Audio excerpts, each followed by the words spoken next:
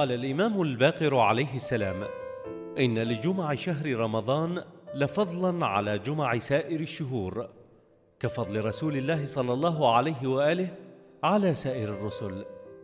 ومن موجبات الرحمة والمغفرة لسائر الخلق بعض المستحبات من الأعمال المروية عن آل البيت الكرام عليهم السلام. ومنها صلاة الليلة السادسة من شهر رمضان. وهي أربع ركعات في كل ركعة منها الحمد وسورة تبارك. والثاني منها هو دعاء اليوم الخامس عشر من شهر رمضان. وفيه اللهم ارزقني فيه طاعة الخاشعين واشرح فيه صدري بإنابة المخبتين. بأمانك يا أمان الخائفين. ثالث هذه الأعمال هو دعاء آخر في هذا اليوم. اللهم ارزقني فيه طاعة الخاشعين وأشعر فيه قلبي إنابة المخلصين. بأمنك يا أمان الخائفين.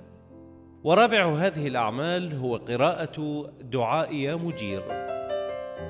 ومن أبرز الأحداث التاريخية التي حدثت في مثل هذا اليوم الخامس عشر من شهر رمضان المبارك من العام الثالث للهجرة هي ولادة سبط الرسول وسيد شباب أهل الجنة.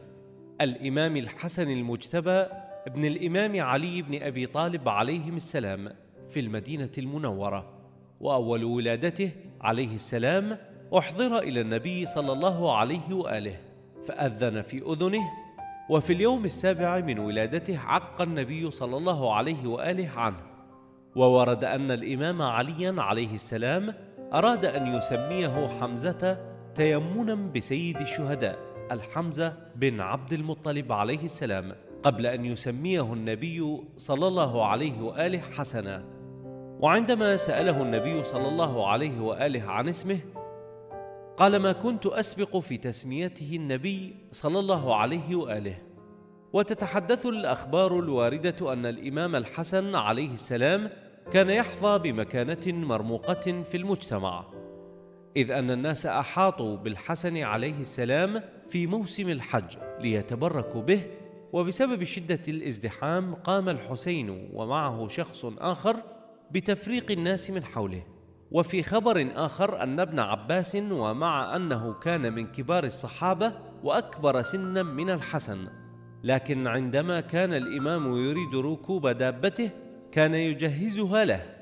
ومما ذكر أن الحسن بن علي عليه السلام كان أشبه الناس بالنبي صلى الله عليه وآله في ظاهره وأخلاقه وكان يخضب بالأسود وكان متوسط القامة وكثيف اللحية ومن فضائله الشخصية والاجتماعية حب النبي صلى الله عليه وآله له إذ أن هناك روايات عديدة حول حب النبي لسبطه الحسن بن علي ومنها كان النبي يحمل الحسن على عاتقه ويقول اللهم إني أحبه فأحبه. وأن النبي صلى الله عليه وآله قال عنه إنه سيد شباب الجنة وحجة الله على الأمة.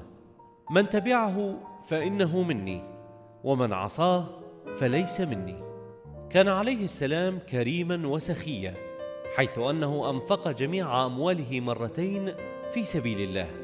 وبادر إلى تقسيم أمواله ثلاث مرات فكان ينفق نصفا منه ويترك لنفسه نصفا آخر.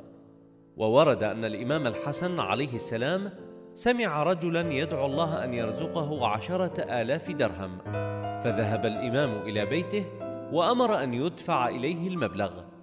وبناء عليه اشتهر بكريم آل البيت. وهناك أخبار كثيرة تتحدث عن مساعدته للناس. حتى ذكر أنه قطع الطواف وهو معتكف في المسجد الحرام ليقضي حاجة مسلم. وسئل عن سبب عمله فقال كيف لا أذهب معه؟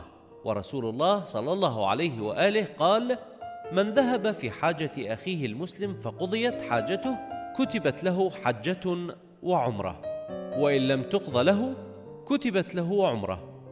استشهد الإمام الحسن عليه السلام مسموما بمؤامرة من معاوية ساعدته فيها جعدة بنت الأشعث وفاضت نفسه الزكية إلى بارئها في السابع من صفر من عام خمسين للهجرة. ودفن في مقبرة البقيع المطهرة فسلام على الحسن الزكي يوم ولد ويوم استشهد ويوم يبعث حيا.